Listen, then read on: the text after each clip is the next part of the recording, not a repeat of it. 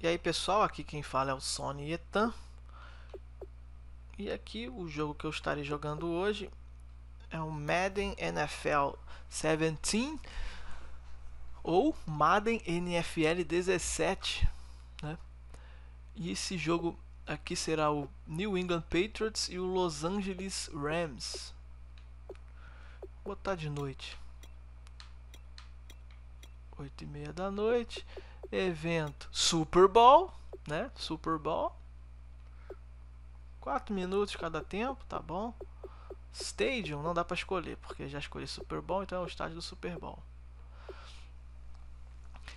Porque este jogo é o seguinte: o primeiro jogo que eu assisti de futebol americano na minha vida foi o jogo entre St. Louis Rams e New England Patriots em um Super Bowl no ano de 2002.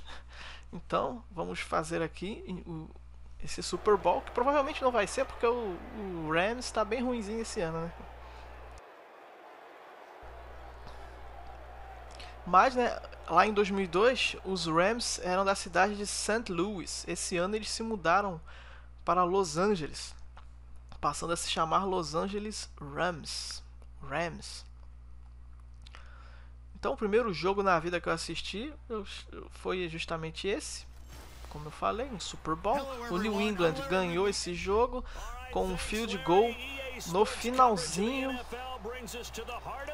né, no finalzinho do, do jogo, com o cronômetro já estourando.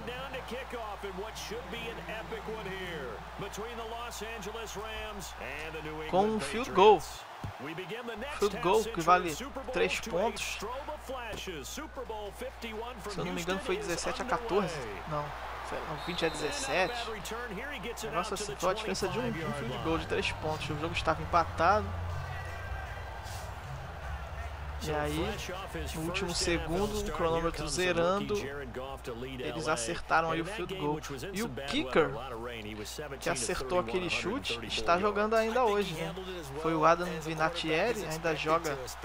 Hoje ele defende o time do Indianapolis Colts. Se eu não me engano, ele é o jogador mais velho em atividade na NFL. E o quarterback do New England Patriots, que é o Tom Brady, foi o melhor jogador daquela partida e ainda joga aqui pelo New England. Né? And a look at the offense that is hoping to put some points up in bunches here in this one. Então, como eu falei, o primeiro jogo que eu assisti foi esse, mas não foi o primeiro contato que eu tive com o futebol americano, não foi assistindo a um jogo, foi justamente no videogame. Foi jogando videogame que eu aprendi as regras, aprendi tudo. Uma das coisas né, que eu sei sobre futebol americano foi jogando videogame.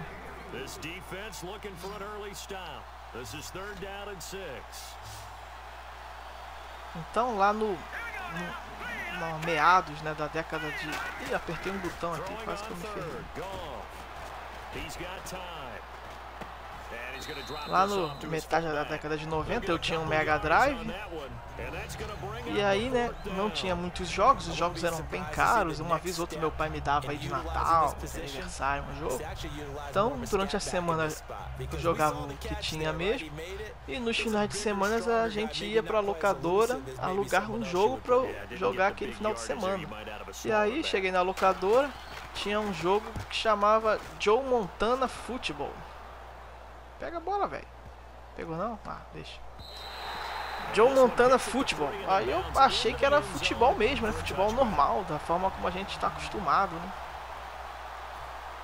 Cheguei em casa, era futebol americano e eu não entendia nada. Não sabia jogar, achei horrível. Então eu fui e devolvi o jogo. Praticamente não joguei, gastei dinheiro à toa. Ou o dinheiro do meu pai à toa.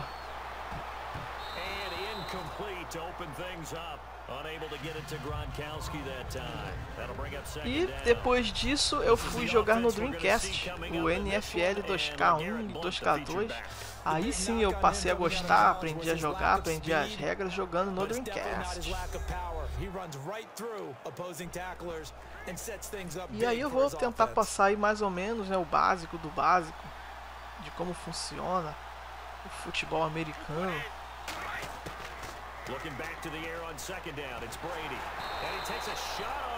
Aqui no futebol americano nós temos 11 jogadores de cada lado, né, em cada time, sendo que o time de ataque é um e o time de defesa é outro. Ou seja, quando o seu time está com a posse de bola e perde a posse de bola, né? Os, joga os 11 jogadores que estão no ataque saem e entram os jogadores da defesa. Então eu estou aqui com o meu time de ataque, eu estou no ataque. Se eu perder a bola, esses 11 jogadores que estão aqui em campo no ataque vão sair e vão entrar os 11 de defesa. E o mesmo acontece com o time adversário, que está com os 11 jogadores de defesa em campo. Se eles, se eles recuperarem a bola, se eles recuperarem a bola, eles saem de campo e entra o time de ataque. Agora, eu provavelmente vou perder a bola, porque eu já estou na quarta tentativa.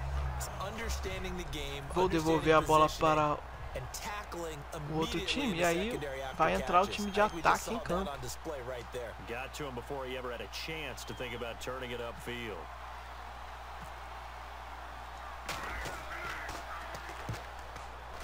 E aí qual é o objetivo do jogo? É fazer gols? Não, não é fazer gols.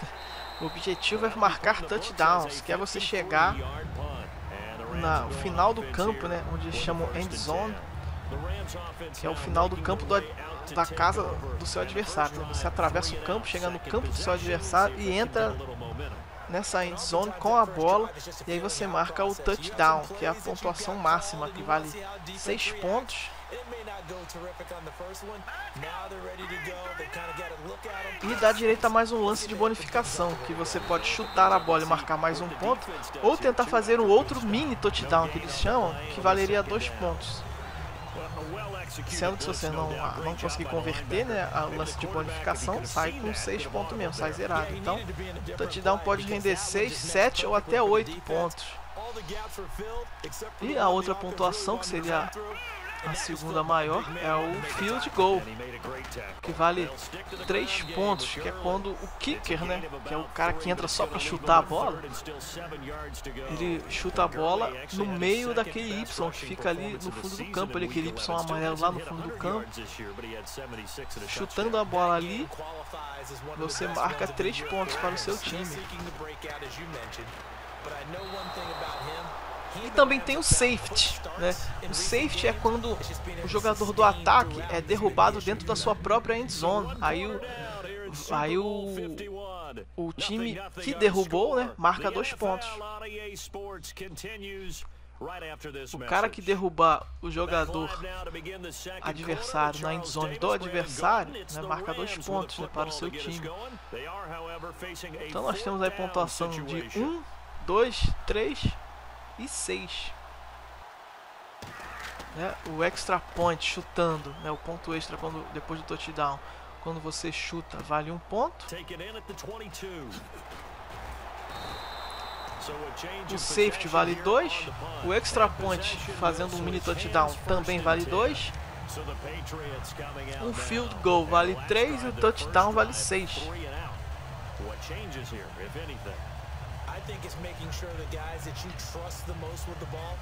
E quantas jogadas são necessárias para chegar lá? Você não precisa chegar numa jogada só, né?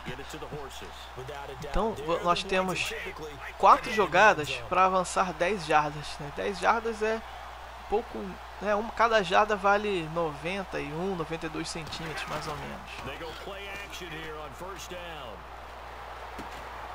E eu fui interceptado, valeu. De novo. Então tem 10. Você tem 10 jardas e 4 jogadas para avançar essas 10 jardas. Quando você consegue avançar, você volta a ter 4 novas chances. E assim até você conseguir chegar no campo adversário. Se em 4 jogadas você não conseguir avançar as 10 jardas, a bola vai para o seu adversário. Sendo que geralmente na quarta tentativa o time não, não arrisca tentar né, ganhar as jardas suficientes. Eles ou vão para o punt, que é um chute de devolução, né, o, o, cara tenta chutar a bola o mais longe possível para que o adversário inicie a campanha dele bem lá atrás. Ou se você estiver próximo né, do, do Y, né, do field goal, você tenta chutar a bola e marcar o field goal que é 3 pontos. Porque se você for derrubado na quarta descida, você perde a bola. Então se você está no campo de defesa, você dá chance para o adversário pontuar. Né? Você foi derrubado ali no seu campo de defesa, então seu adversário já começa numa boa posição para fazer pontos.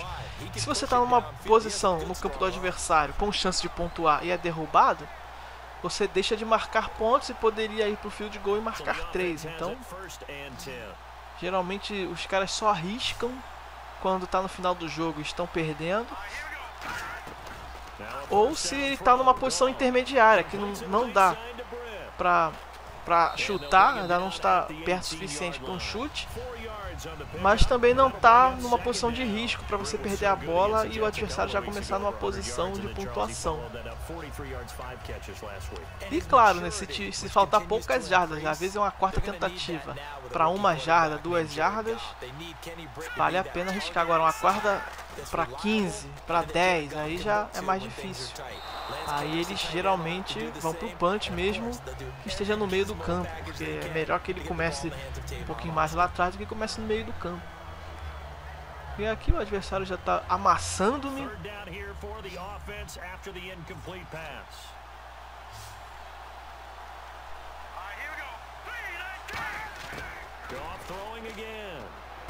E eles conseguiram o touchdown, eles entraram na end zone, nessa área pintada aí, marcaram 6 pontos e eu estou me ferrando já.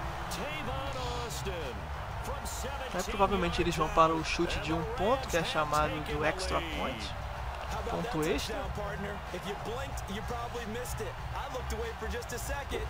Que a conversão de dois pontos geralmente é mais pro final do jogo, quando o cara faz as contas lá e, e vê que ah, se eu marcar dois pontos e abrir quatro de vantagem, não vai é mais vantagem do que eu abrir três. Às vezes o cara acha isso, que com três o fio de gol empata, com quatro ele força o time o touchdown. Então, ou às vezes você está perdendo por 8 pontos, marca o touchdown, a diferença cai para 2. Você ir para o chute não adianta, você tem que ir para conversão de 2 pontos. No último. Vamos ver se eu consigo empatar o jogo, já estou no prejuízo aqui.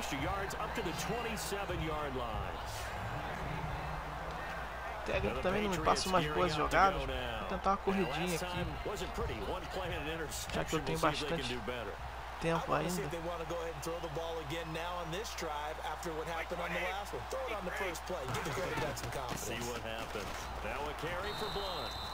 O que é o seguinte, quando um jogador é derrubado dentro de campo, o relógio continua rodando.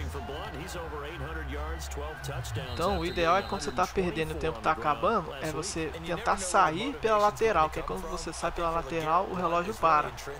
Ou quando você tenta um passe e esse passe é incompleto, o relógio também para. Um passe errado, o relógio para. Quando sai pela lateral, o relógio para. Quando você é derrubado dentro de campo, o relógio continua rodando.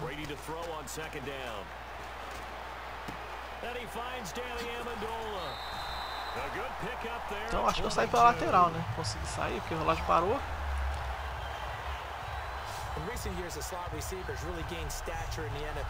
Eu não tinha necessidade de sair porque eu tenho tempo né, para pedir. Eu tenho três tempos e quando você pede um tempo o relógio também para. Mas como eu já estava ali perto, praticamente fui jogado para fora. first down following that long gain.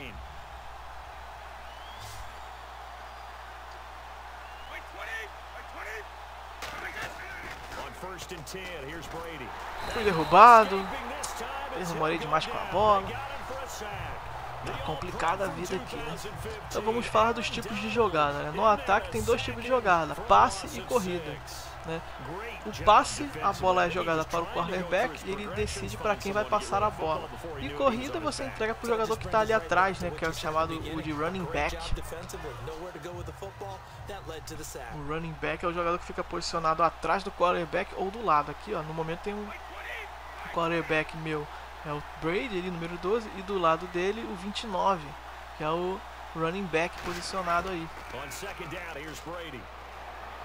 Bora, meu amigo. Nada. A bola tá... tem que ser mais rápido. Well, he just threw an interception last drive, nearly another pick. And things aren't very even right now, are they? It's a little bit sloppy out Terceira para isn't it? 16, já o técnico sugeste, sugere suggestions com, play action, né? muito inteligente né, da parte dele. Quem que vai... Mas conseguiu, deu certo. Bora, vamos fazer, vamos marcar o ponto. Ah, não marquei o ponto. Bem, eu chego numa posição de anotar o field goal aqui pelo menos, né? Então, meu objetivo é marcar o touchdown, se eu não conseguir, vamos para o field goal. Vamos lá, tenho mais uma... Tenho, voltei para a primeira tentativa, o first down, primeira e 10. Então tá uma corridinha aqui só para acelerar um pouco a jogada.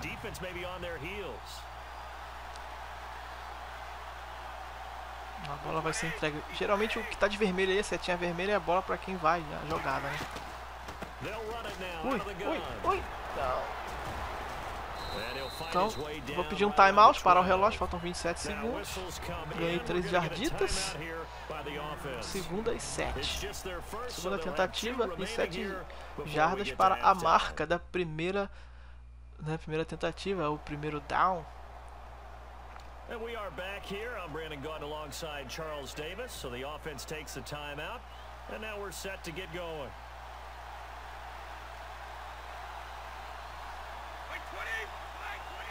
Não sei não, hein.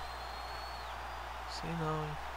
Jogar a, rota quente é a que fica de vermelho, é o tá com o botão X ali.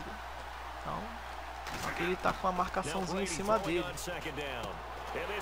Ah, entra, entra, entra! Não entrou. It's a good gain of 11. Eu fui derrubado na linha de uma. Então, melhor aqui na linha de uma. jarda para chegar no, na marca do touchdown, o ideal é correr mesmo com a bola. Eu, tenho aí um tempo para pedir, então eu posso arriscar uma corrida, se não der certo, eu vou ter que tentar aí o field goal. Mas o técnico não quer saber não, ele quer passes, então vamos para os passes, né? O técnico quer passes. Eu posso escolher a jogada que eu quiser, né? Mas aí eu tô indo nas sugestões do técnico, então... Depois eu mostro lá as jogadas que eu poderia. Quase que eu perdi a bola. Então, So 17 seconds now on the clock here. é, o passe incompleto para o relógio, então posso ir pro passe pelo menos mais uma vez. Se não der certo, aí eu Aí eu posso tentar uma corrida, se não der certo eu paro o relógio e vou para o field goal.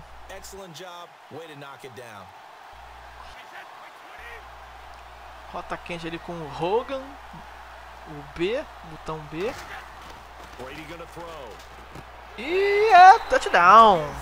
Touchdown! Podemos empa- empatar o jogo. Chris Hogan as the first half is winding down.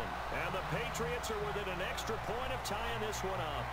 And a little time left on the clock, so on the other side, they're thinking, gosh, we'd like to get that lead right back. Yeah, thanks for pointing that out. Here I am, go ahead and tapping out the first half. There's still time. They've Vamos got to para make a decision about what they want to do on the kickoff. o chute de bonificação.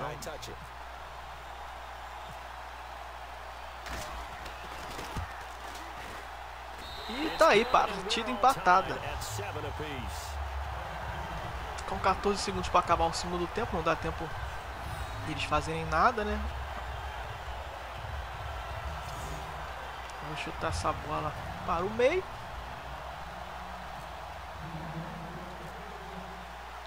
So a tie ball game here as the kicks away. That's fielded in the end zone. E, na, e como eu falei, no ataque são dois tipos de jogada, corrida e passe. Né? E na defesa são três tipos que existem aqui, né? Que é o blitz, né? Com que o técnico está sugerindo. Ele só está sugerindo blitz, ó. Tem zona, que é a marcação em zona. Cada jogador fica responsável por um setor do campo. E o man, vou botar um man aqui, só de sacanagem. Que é a marcação individual. Ih, caraca, acho que eu não apertei o botão a tempo. Então foi uma jogada aleatória qualquer. Então temos a jogada marcação homem a homem, né? Man, Man to man seria. Então, cada jogador ficaria responsável para marcar um jogador adversário. Mas na zona, cada jogador vai marcar um setor do campo específico. E na Blitz, né, uma quantidade de grande de jogadores vão tentar derrubar o quarterback adversário antes dele fazer o passe. Né? Então, geralmente, ficam aí dois ou três jogadores responsáveis para ir para cima do quarterback e derrubar ele. Só que na blitz esse número aumenta, vão cinco, às vezes até seis.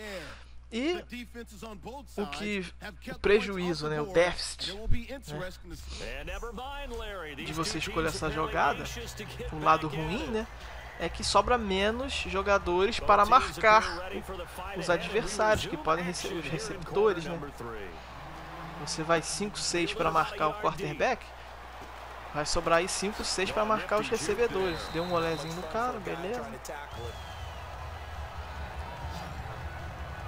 E aí se eles conseguirem, se o quarterback conseguir se livrar rapidamente da bola e fazer um passe, ele geralmente vai encontrar um cara sozinho.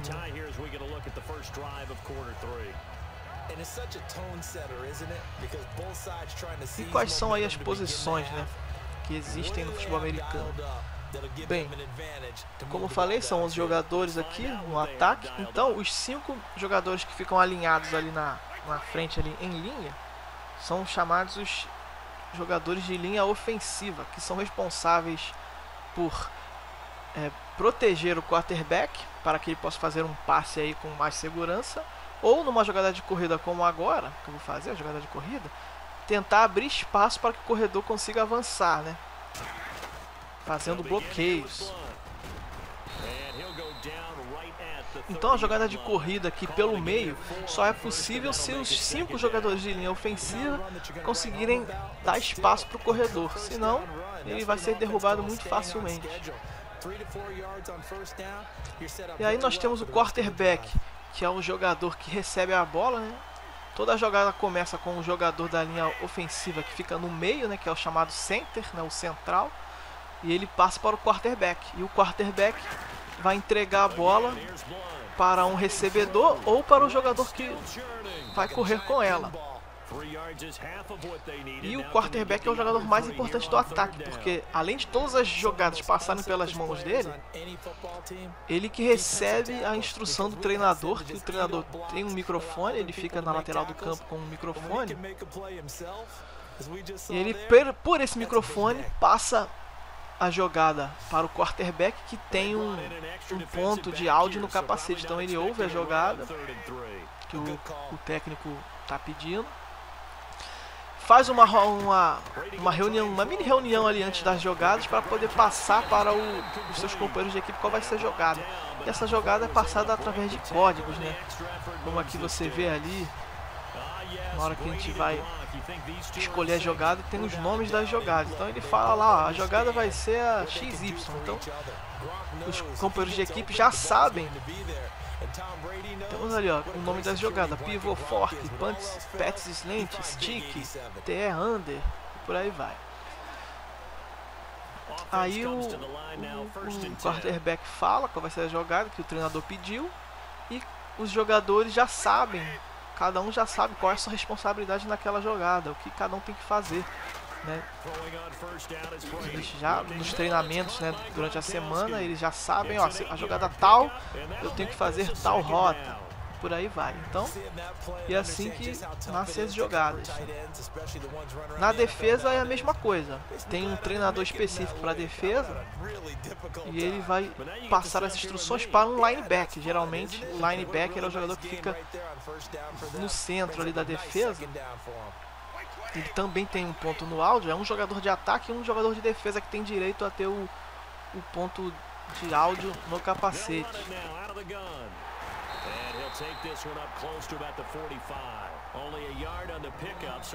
E aí o, o técnico da defesa passa as instruções para o seu capitão da defesa, geralmente é um linebacker, e ele vai passar as instruções para os companheiros de equipe, da mesma forma que o ataque, em forma de códigos.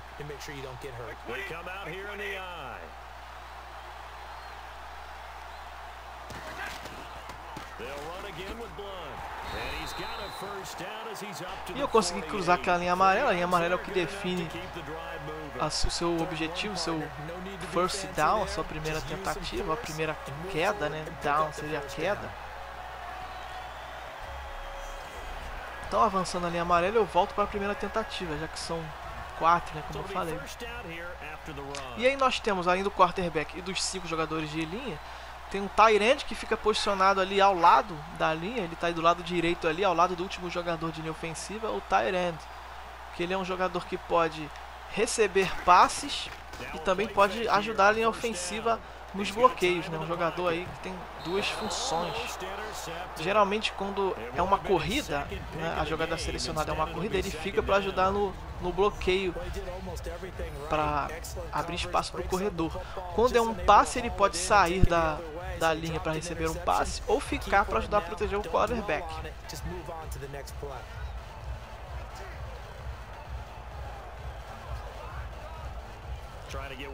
E os jogadores da linha ofensiva, eles não podem receber passes e nem correr com ela, nem não podem receber a bola. Eles são chamados de jogadores inelegíveis. Então eles só servem mesmo para bloquear mesmo, eles não podem é, receber a bola. Brady will try again on second down. E aí então nós temos 11 jogadores, como eu falei, tem aí os 5 da linha ofensiva, que são os bloqueadores, o quarterback, responsável pelos passes, o running back, que é o que se posiciona ao lado ou atrás do quarterback, que é responsável para correr a bola, né? quando a jogada selecionada é uma corrida, o jogador da linha ofensiva vai passar a bola para trás para o quarterback e ele vai entregar para o corredor. Quando é um passe, o quarterback vai ver qual jogador melhor posicionado para receber o passe, né, que tiver mais desmarcado. Porém, geralmente já é combinado, né, já é combinado qual jogador que vai receber a bola, que é o que se chama rota quente, que é o que fica ali em vermelho. Aquele jogador ali é o que tem a preferência para receber o passe. Só que se o quarterback vê que ele não está bem posicionado, está muito marcado, ele acaba mudando de ideia e toca para e passa a bola para outro jogador. Esteja melhor posicionado. E além dos que eu já falei, tem o wild, o wide, né? O wide receiver, que é o recebedor. São os jogadores do ataque que se posicionam mais próximos à lateral do campo e são responsáveis por receber os passes ou os lançamentos né, do quarterback. Ali no caso, ó, tem o X e o Y são recebedores, são wide receiver. O A e o B são tight ends e o RB é o running back. Brady again here on second and 10. He gets it into the hands of Gronkowski, complete.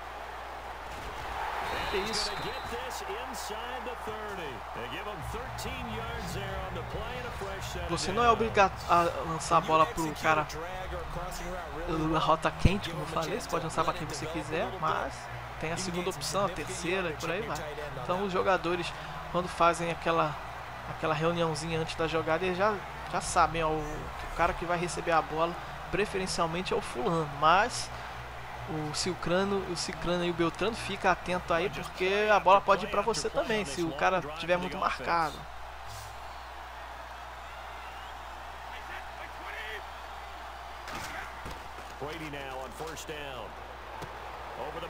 Eles vieram com o blitz, eu soltei a bola rápido enquanto o jogador desmarcado. É assim que funciona.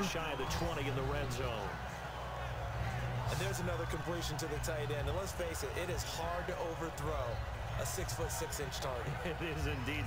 Quarterbacks like their speed guys. They like that huge six six target that they've got in him. They really do, and it, it reminds me of what one great tight end told me once.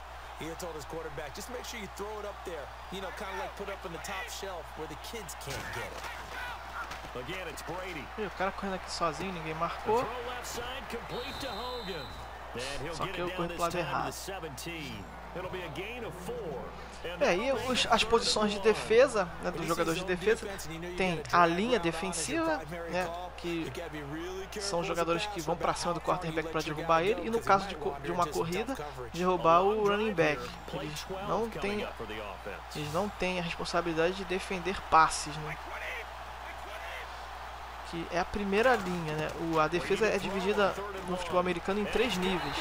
O primeiro nível é o, a linha defensiva, geralmente são três ou quatro jogadores. E o segundo nível da defesa são os linebackers, né? Que traduzindo ao pé da letra seria a linha de, de trás, que é a segunda linha, a linha que fica atrás dos jogadores da linha defensiva, que podem ser dois, três ou quatro. Vai depender da disposição de recebedores adversários.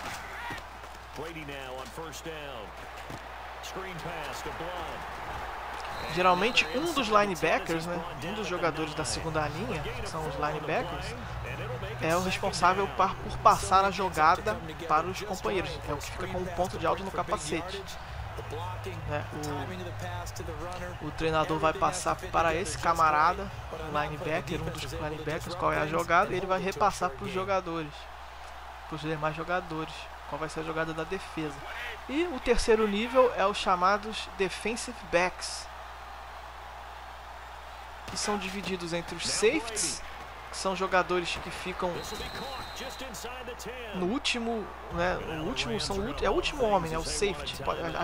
Geralmente são dois, eles ficam ali para, no caso do jogador passar por todo mundo, ele é a última opção aí para para uma defesa.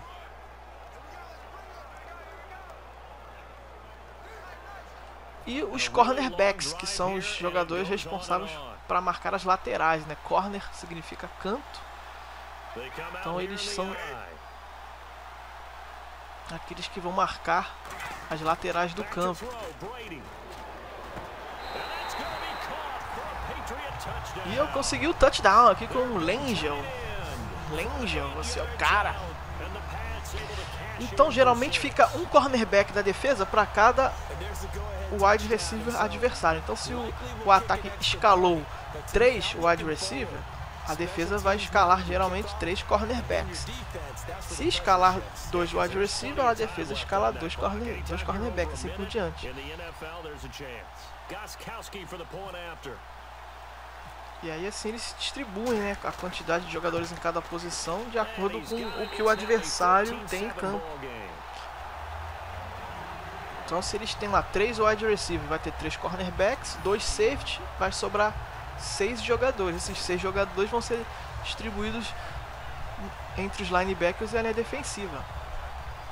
Então ele pode botar quatro na linha defensiva com dois linebackers ou três na linha defensiva com três linebackers. Geralmente é assim que a defesa é disposta, né?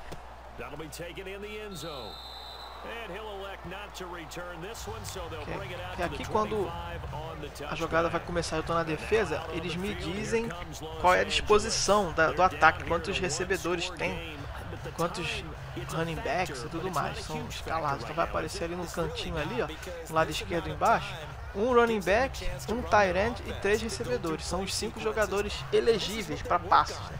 chamados elegíveis. They go over this type of a situation, late game situation. What are we going to do when we have the opportunity? They've called these plays a bunch of times. Now's their chance to execute them. Well, they have the opportunity now. Here's the execution. He has one over the middle. And he's brought down after a good game. Give him 30 yards there. And now it looks like they're going to be in the hurry up. They'll look to throw. Agora a máquina entrou em modo apelativo, né? Ou seja, tudo vai dar certo.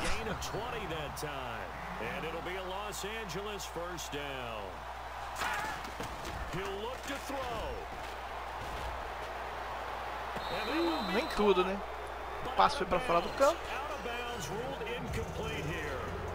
That's a nice catch, but unable to stay in bounds. And remember, it wasn't a wide receiver who works on that all the time. I was going to say, he, he likes to get the ball handed to him. Now, don't get me wrong, he's part of the passing game as well, but maybe a little out of his comfort zone there. Yeah, he might want to have a few words to say to us about that later, but I am still going with you on that one. Wide receiver, que isso é minha. And seeing nowhere to throw, he chucks this one away from harm, incomplete. Now it's third down. Então ele já está na terceira tentativa, então ele tem mais duas. Se ele não converter essa, ele vai para a última tentativa. Normalmente, nessa última tentativa, quando você está próximo do, do gol adversário, iria para o field goal. Mas aqui no caso, o field goal não vai ajudar em nada a eles, que eles estão perdendo por 7 pontos.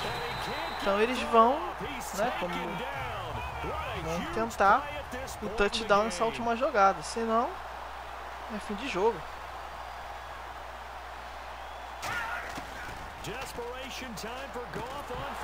Opa, opa, acabou. É fim de jogo. Tem 3 segundos no relógio, a bola vai ficar comigo, então eu posso simplesmente gastar o relógio aqui para ganhar o jogo. Não preciso me preocupar em pontuar. Eu vou para a corrida para ser derrubado dentro de campo.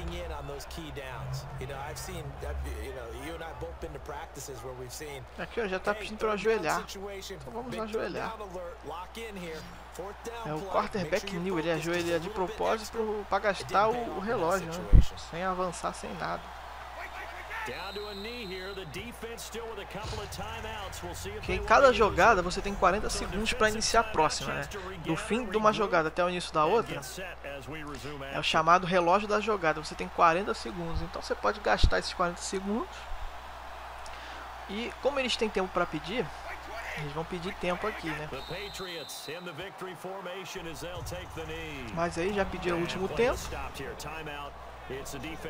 Aí eu posso ir para ajoelhar de novo e, gastar os últimos segundinhos, né? Vou gastar o relógio nos últimos segundinhos e fim de jogo. Então é isso aí, minha história no futebol americano e mais ou menos como funciona. Então, eu vou ficando por aqui. Obrigado aí por terem assistido. Valeu, fui! Time for this one final knee to put a bow on this title bout. And it's another Super Bowl title for the New England Patriots. And to the Super Bowl champions, they etch their name forever in NFL immortality. That's pretty phenomenal right there. It actually gave me chills just to hear you say that because immortality forever and ever. When you look in the record books, you'll see this team, you'll see their picture, that your name will be a part of it. That's got to be an incredible feeling because it's been a long journey to get there, and now they get a chance to enjoy it.